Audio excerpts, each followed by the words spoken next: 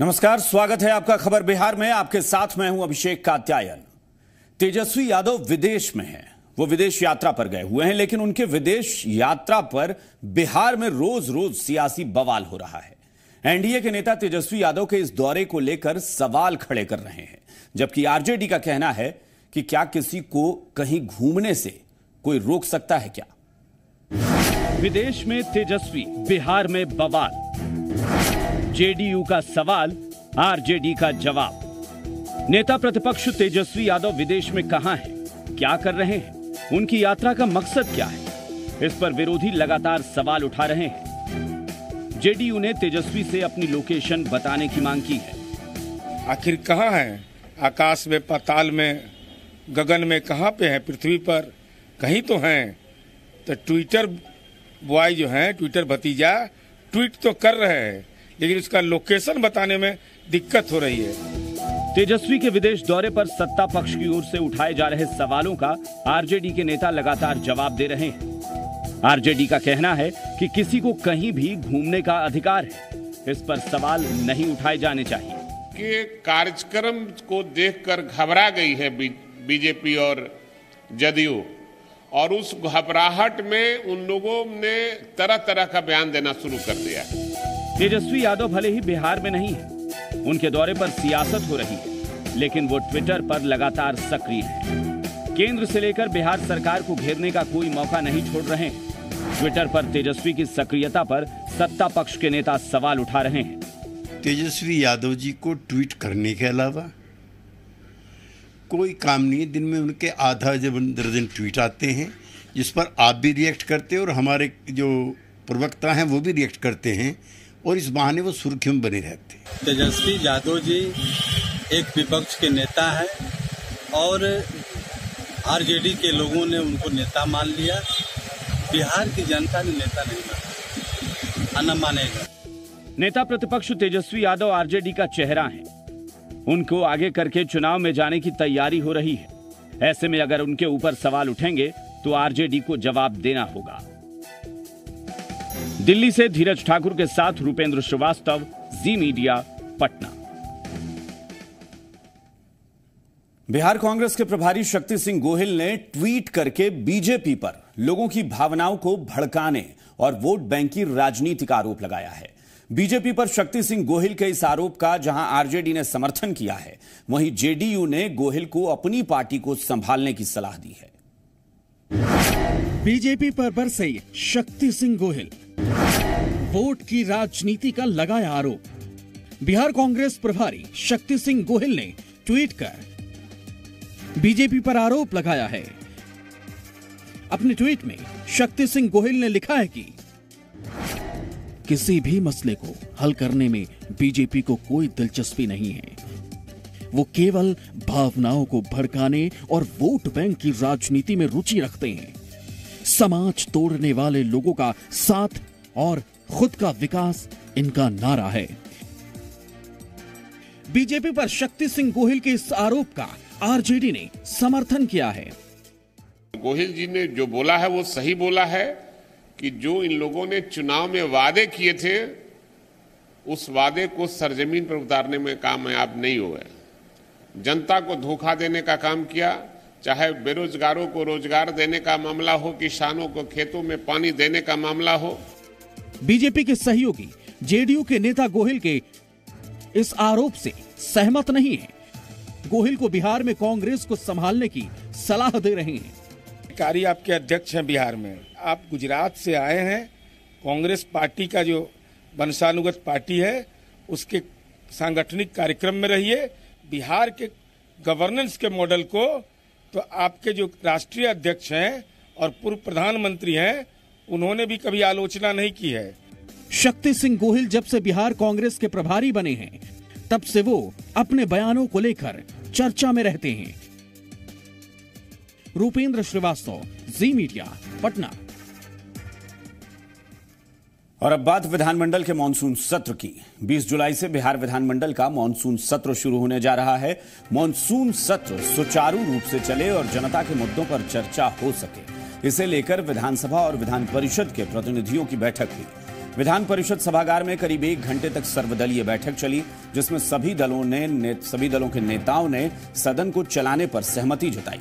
सात दिन के मानसून सत्र में कुल पाँच बैठकें हुई।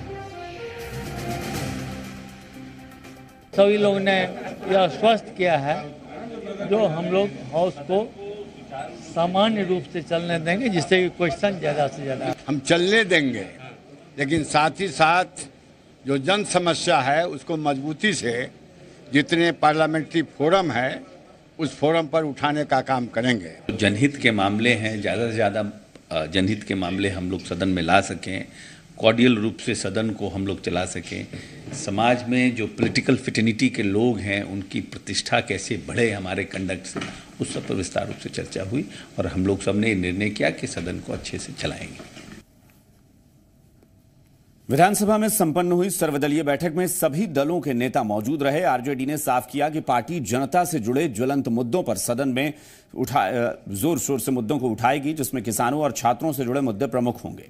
सत्ता पक्ष का कहना है कि सरकार सदन के समय का सदुपयोग करेगी, ताकि जनता के मुद्दों पर ज़्यादा से ज़्यादा चर्चा हो सके।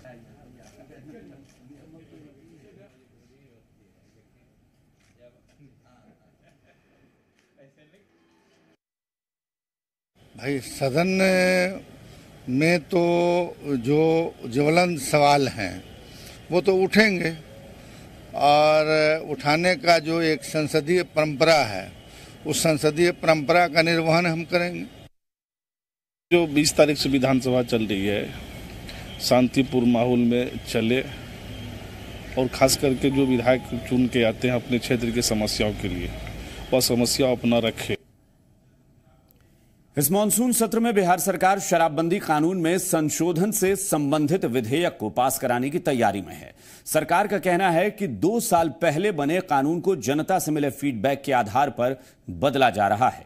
वहीं विपक्ष शराबबंदी पर सरकार की मंशा को लेकर ही सवाल खड़े कर रहा है। शराबबंदी कानून में होगा संशोधन। मानसून सत्र में होगा संशोधन। सदन से विधेयक पास कराएगी सरकार।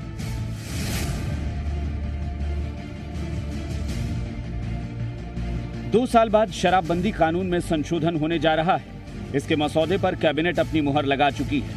अब विधानसभा से इसे पास कराने की तैयारी है। मुख्यमंत्री नीतीश कुमार साफ़ तौर पर कहते रहे हैं कि कानून में जहाँ भी कोई समस्या होगी, उसे बदला जाएगा। लेकिन शराबबंदी को किसी भी कीमत पर वापस नहीं लिया जाएगा। यही बात सरकार में शामिल बीजेपी के नेता भी कह रहे हैं। जनमानस को ध्यान में रखते हुए जहाँ कुछ ऐसा लगता है उसी विषय पर विशेषज्ञों को ध्यान में रखते हुए उन विषयों को संशोधन का सदन के अंतर्गत लाया जाएगा। जेडीयू नेता और पूर्व मंत्री अशोक चौधरी कहते हैं कि ये पहला कानून नहीं है जिसमें संशोधन हो रहा है। इससे पहले भी ऐसा होता रहा है। सरकार को लगा तो वो संशोधन करने जा रही है। फर्दर हम इफ़ेक्टिव और जिसको बोलते हैं कि पब्लिक के लिए डाइजेस्टिव हो एक्सेप्टेबल हो इसलिए इसको संशोधन किया गया। विपक्षी पार्टी कांग्रेस अभी तक ये तय नहीं कर सकी है कि कानून में संशोधन पर उसका क्या रुख रहेगा। पार्टी के नेता कह रहे हैं कि विधायक दल की बैठक में फैसला किया जाएगा। अभी उस पर हम लोग विचार नहीं किए हमारे दल का बैठक होने वाला है और दल के बैठक में हम लोग राय सभी लोग विचार करके उस पर अपनी राय देंगे। उधर आरजेडी के प्रदेश अध्यक्ष रामचंद्र पूर्वे शराबबंदी पर ही सवाल उठा रहे हैं। उनका कहना है कि अब शराब की होम डिलीवरी और बेड डिलीवरी होने लगी है। शराबबंदी नहीं हुई है उसका केवल रूप बदला है। अब होम डिलीवरी और बेड डिलीवरी के रूप में अनवरत शराब का सप्लाई होता जा रहा है। शराबबंदी बिहार सरकार का अहम मुद्दा रहा है।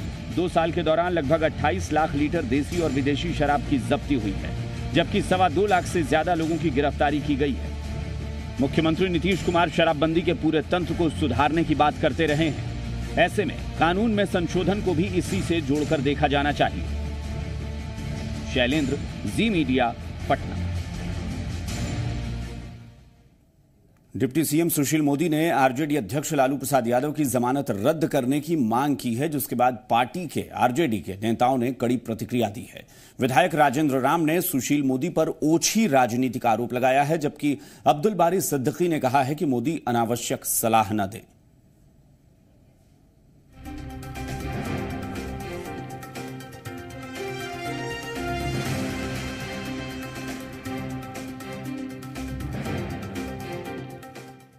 लालू जी की तरफ़ से कोई राजनीतिक बयान तो है नहीं। यह बाहर से कोई नेता आए, मिले और अपनी तरफ़ से जाकर के अगर राजनीतिक बयान देते हैं, इसमें न्यायपालिका सारी चीज़ देख रही है। इनके ओछी हरकत और ओछी राजनीति से कुछ होने को नहीं है।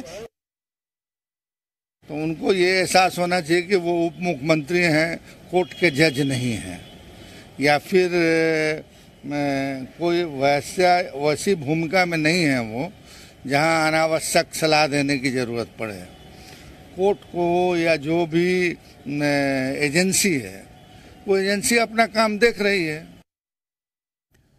बिहार में बाढ़ से निपटने के लिए एनडीआरएफ ने तैयारी पूरी कर ली है। एनडीआरएफ बाढ़ प्रभावित इलाकों में लोगों को भी बचाव के लिए जागरूक कर रही है। पंचायत और प्रखंड स्तर पर कर्मचारियों को बाढ़ से निपटने के गुर सिखाए जा रहे हैं। एनडीआरएफ की नौवीं बटालियन के कमांडेंट विजय सिन्हा के मुताबिक मार्च से लेकर अब तक 22 जिलों में 12,000 से ज़्यादा लोगों को बाढ़ और दूसरी प्राकृतिक आपदाओं से निपटने के लिए प्रशिक्षित किया जा चुका है। एनडीआरएफ ने कहा कि बिहार में आठ टीमों को राहत और बचाव उपकरणों के साथ मुजफ्फरपुर गोपालगंज दरभंगा बेतिया सुपौल समस्तीपुर जिलों में तैनात कर दिया गया है।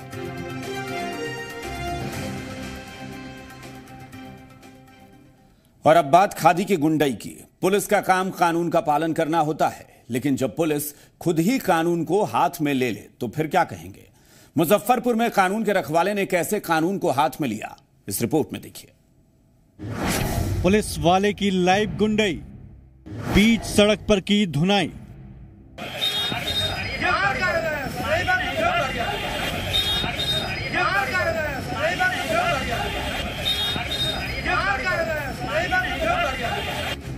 सुना आपने ये सवाल एक ट्रक ड्राइवर दारोगा साहब से पूछ रहा है क्योंकि साहब उसकी लाठी से धुनाई कर रहे थे। और फिर दारोगा जी ने क्या कहा वो भी सुनिए।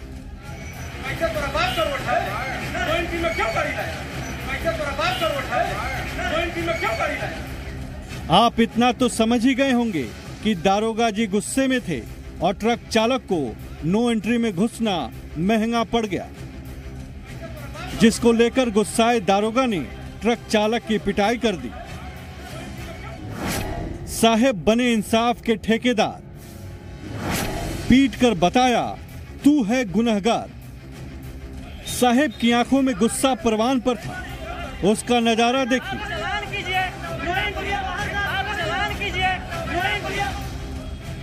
गुस्से से लाल होकर दारोगा जी ने पहले ट्रक के अंदर घुसे ड्राइवर को धूम दिया।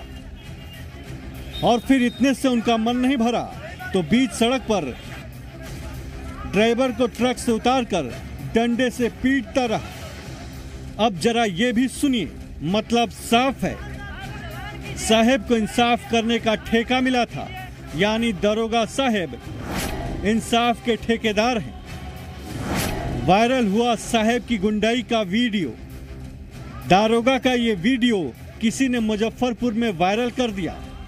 बताया जा रहा है कि मामला मंगलवार का है। जब एक ट्रक ड्राइवर ट्रक लेकर साहेबगंज थाना इलाके में बीच मार्केट में घुस गया था। मुजफ्फरपुर से अरुण प्रकाश के साथ bureau report, Zee Media. Patna में वित्त रहित शिक्षकों और पुलिस के बीच झड़प हुई। दरअसल वित्त रहित शिक्षक, शिक्षा मंत्री का घेराव करने जा रहे थे। पुलिस ने जब उन्हें रोकने की कोशिश की तो ये उनसे भिड़ गए। आपको बता दें कि वित्त रहित शिक्षक वेतनमान को लेकर प्रदर्शन कर रहे हैं।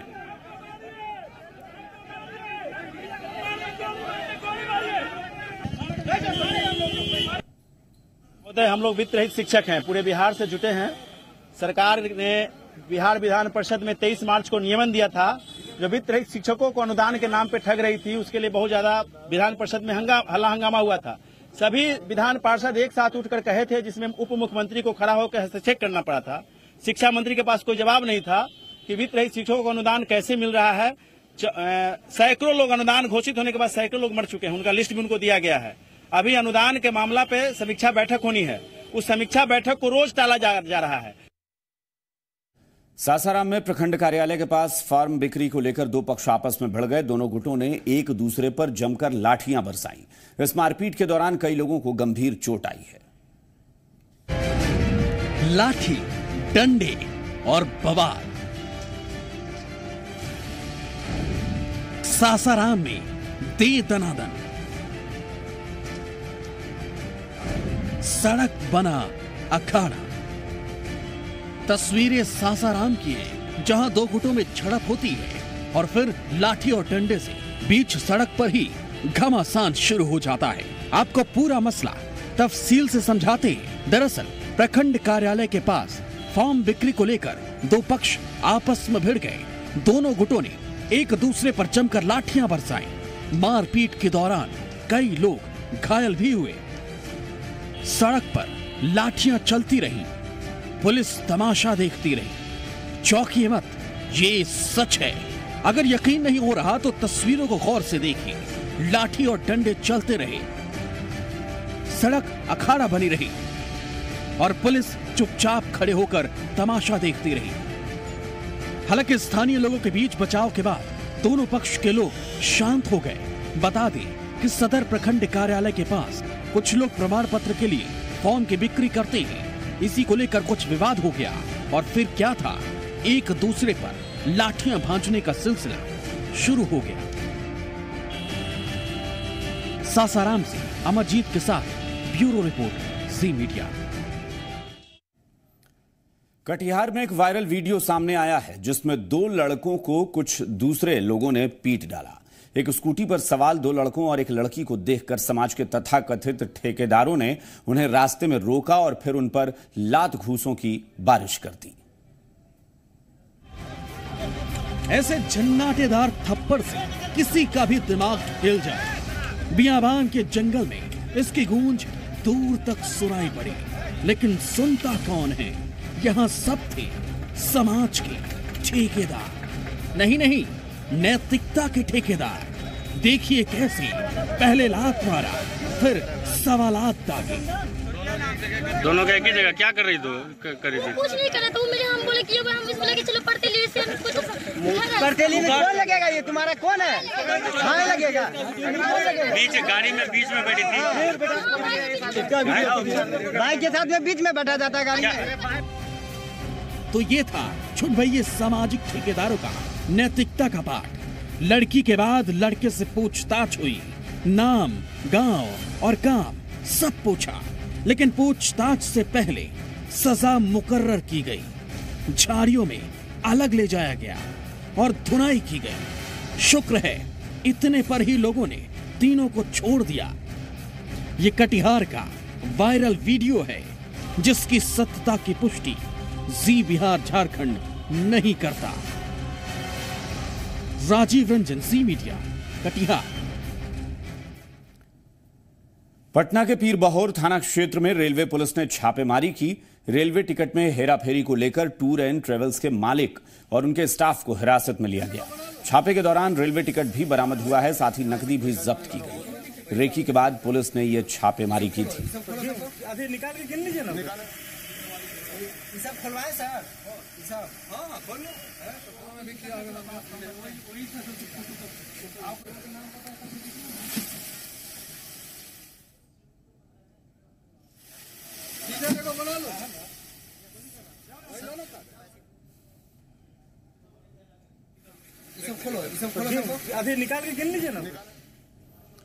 चलिए, अब बात करेंगे उस मामले की जो बिहार में इन दिनों बड़ी चुनौती बना हुआ है, वो है बिहार में बीमार स्वास्थ्य व्यवस्था।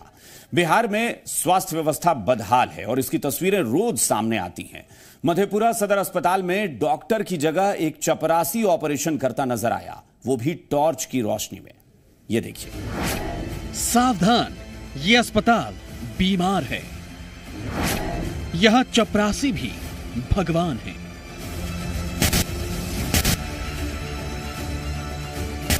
सही सुना आपने ये सुनकर हर किसी के जहन में सवाल उठने लाजमी है।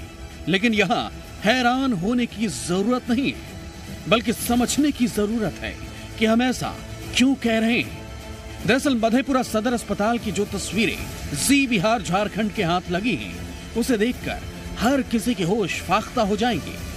यहाँ डॉक्टर नहीं, चपरासी पेशेंट को टांके लगाते हैं। वो भी टॉर्च की रोशनी में। यकीन नहीं हो रहा तो तस्वीरों को देखिए। छोटी छोटी बीमारी के लिए भी बाहर जाना पड़ता है। यहाँ मधेपुरा सदर अस्पताल में जब लोग इलाज कराने जाते हैं तो चतुर्थ वर्गीय कर्मचारी टॉर्च के सहारे इलाज करता है।